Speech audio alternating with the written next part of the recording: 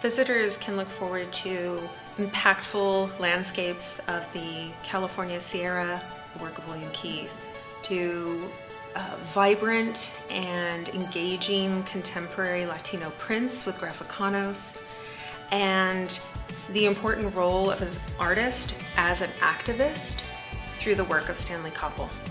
We have a completely new approach to programming, and that's why the opening is so exciting. We have performance in the museum. We have a slate of programs throughout the period of this exhibition that involve guest speakers, that involve uh, guest performances, and this is setting a new standard for how we want to go forward with our exhibits and really making this a more dynamic and engaging environment.